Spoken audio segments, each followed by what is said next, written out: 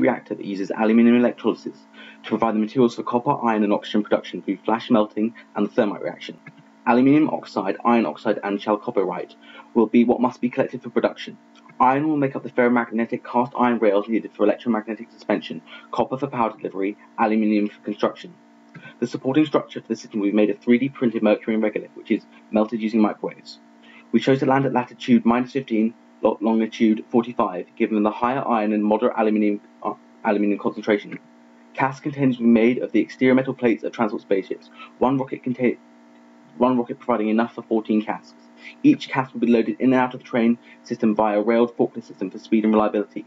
For emergency procedures in the case of fire, oxygen will be vented from the cask. Derail derailment is almost impossible, and collisions or magnet failures would lead to functioning sections being decoupled and returning to the nearest mining station.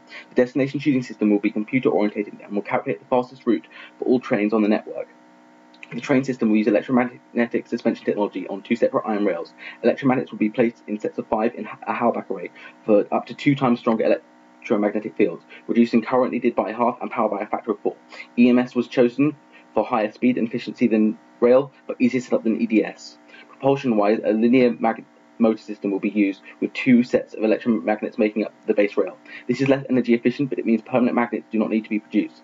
The electromagnets in sections of rails will be powered selectively along the course of the rail, minimizing power needs.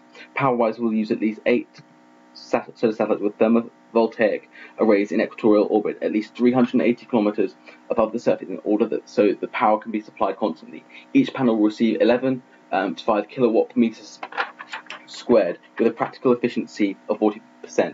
A 1 megawatt hour battery on each satellite will be needed to store the energy provided um, for roughly 17.5 minutes in its orbit. An array between 24 meters squared to 8.5 meters squared will be needed to charge the battery in the 53 minutes of half an orbit, assuming 1 to 2 kilowatt ton per levitation. Each satellite will need six, 780 kilograms or 6,340 kilograms of solar panels. For compaction, the solar panels will be arranged in a cylindrical drum configuration, inspired by the Miura-Fold configuration, which will have a maximum diameter of around 3 meters.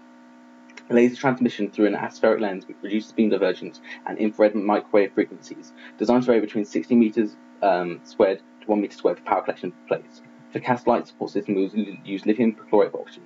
Lithium hydroxide can also be used for carbon dioxide removal. Water will be stored alongside waste and life support systems in the 66 meter cube cavity between the cask and the cask container.